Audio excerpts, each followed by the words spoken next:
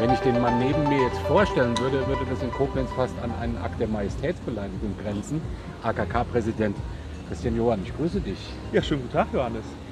Einstellungsvoraussetzung der AKK könnte man meinen, es schadet nicht einmal Prinz gewesen zu sein. Für dein Amt ist das so? Ja, als Präsident macht das ja durchaus schon mal Sinn, dass man schon mal vielleicht Prinz in Koblenz gewesen ist. Man hat Bühnenerfahrung, man kennt die Menschen, man kennt die Leute. Also von daher ist es vielleicht gar nicht schlecht, aber keine Grundvoraussetzung. Hat dem Vorgänger aber auch nicht geschadet. Nein, auf gar keinen Fall. Ja. Aber davon mal abgesehen, man fängt ja nicht als Prinz an im Karneval. Das ist ja nicht die erste Station. Was ist die erste Station im Karneval, an die du dich in deiner karnevalistischen Karriere erinnerst? Ja, also ich bin ja 1998 erst nach Koblenz gekommen. Ich bin ja grundsätzlich gar kein Kovalenzer. Die Liebe hat mich hier hingetragen und meine Frau war aktive äh, Funkenmariechen bei der KKG Rot-Weiß-Grün Kovalenzer Schengelscher von 1922 e.V.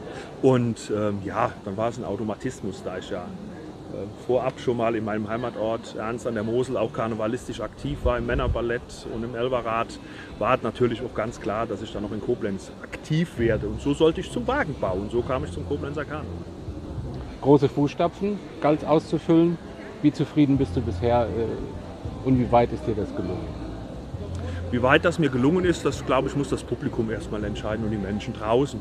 Äh, natürlich ähm, war das, was der Franz Josef äh, gemacht hat in den, in den zehn Jahren vorher, natürlich äh, ganz viel Gas gegeben, den Koblenzer Karneval nach vorne gebracht, nach vorne äh, gebrecht. Und wir haben versucht natürlich das Ganze auf eine andere Art und Weise, wie ich halt so bin, auf die Bühne zu bringen. Und dann kam was, was wir uns alle nicht gewünscht haben, was uns dann auf die Vollbremse gepackt hat. Ja. Seit dem Zweiten Weltkrieg haben wir solche Herausforderungen auch für den Karneval noch nie erlebt. Was sind deine größten Sorgen, Kinder? Was macht dir im Moment die größten Sorgen? Ja, wir haben jetzt wirklich ein, ein Jahr gehabt, wo es natürlich schwierig war, ähm, erstens die Vereine natürlich auch am Leben zu halten. Für die Vereine war es auch nicht leicht, weil die Mitglieder äh, natürlich auch eine gewisse Erwartungshaltung haben. Und wenn du nichts machen darfst und kannst, ist es natürlich schwierig.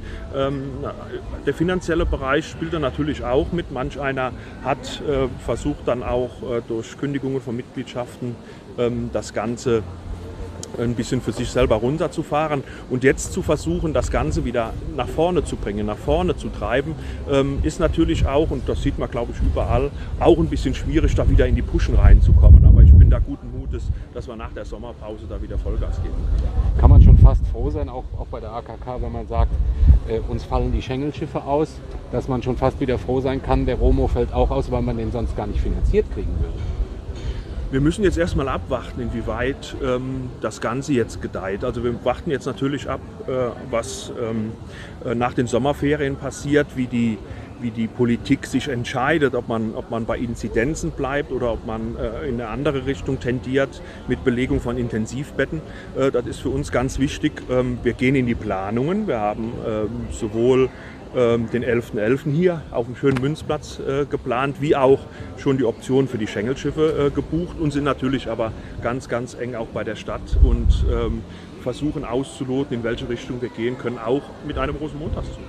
Aber Schengelschiffe sind ja für die AKK schon eine nahezu Notwendigkeit in finanzieller Hinsicht.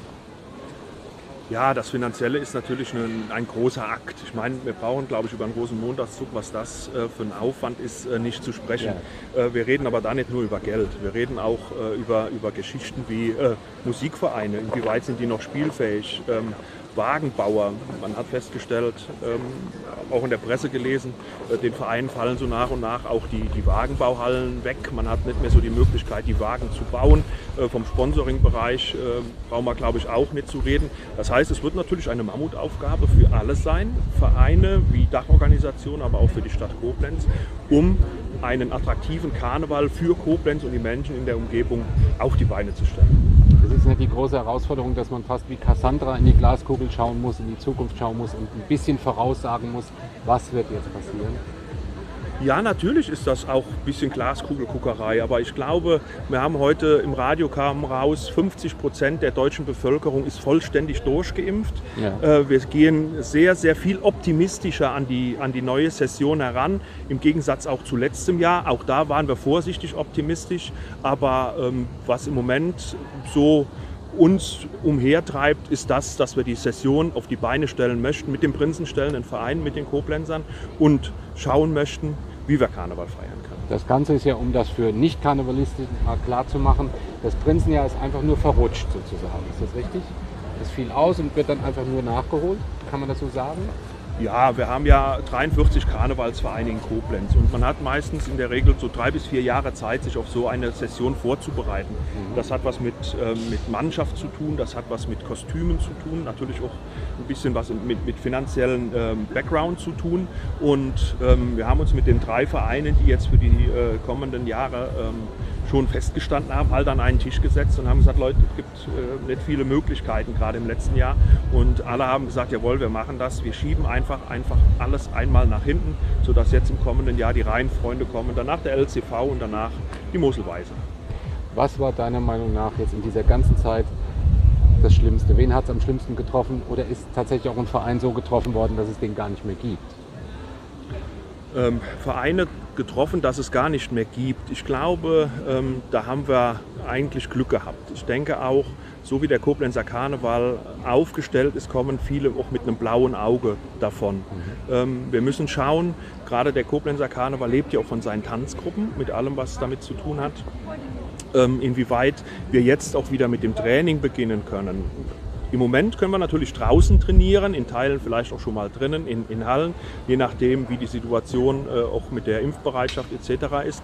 Äh, aber das äh, wird sich jetzt, ich denke mal, nach den Sommerferien nochmal äh, noch mal verfestigen, inwieweit äh, wir da auch Rückschritte machen müssen. Zitat Christian Johann, ich bin unter anderem zuständig für den Spaß an der Freude.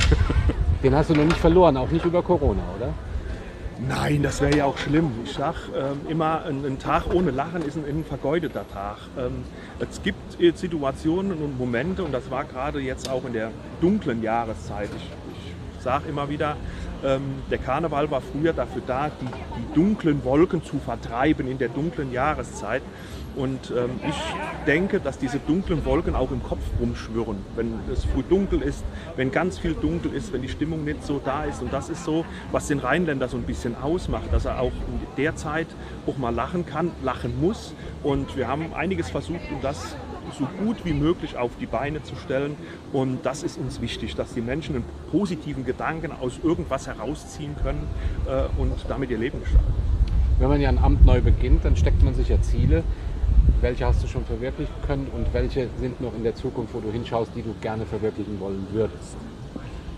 Ja, die Ziele, die wir uns gesetzt haben, ist im Moment, glaube ich, die Förderung der, der Jugendarbeit. Das ist uns, glaube ich, allen ganz, ganz wichtig. Wenn man die Redner ähm, äh, in, den, in den einzelnen Sälen sieht, wird man feststellen, das ist schwierig. Wir haben ganz große Konkurrenzgeschichten. Äh, ähm, das macht ähm, der Comedy-Bereich aus, das macht die das Überlasten auch viel aus dem Comedy-Bereich. Und wenn man als junger Büttenredner mal auf die Bühne geht und, der, und die Büttered war einfach auch mal nicht so gelungen, wie man sich das vorgestellt hat, kriegt man natürlich eine, eine Menge Kritik auch.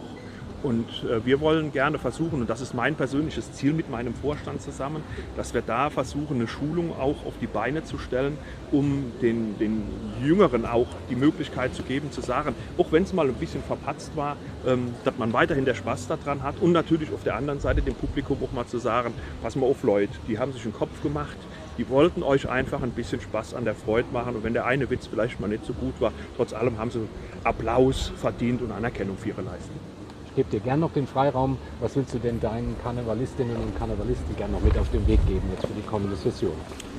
Äh, ich will, dass ganz Koblenz und auch die Umgebung einfach daran denkt, dass wir bald wieder hoffentlich ein, ein Leben haben können, wo wir wieder Spaß an der Freude haben, wo wir rausgehen können, wo wir uns treffen, wo wir gemeinsam Spaß erleben können. Hoffentlich am 11.11. .11. hier auf dem Münzplatz. Die AKK und die angeschlossenen Vereine, die sind bereit und möchten mit euch zusammen in eine tolle Session gehen und einfach versuchen, wieder den Spaß in die Welt zu tragen, die wir früher hatten dann sage ich gar nicht auf Wiedersehen, sondern sage, wie sich das jetzt für uns beide gehört, Olau. Olau.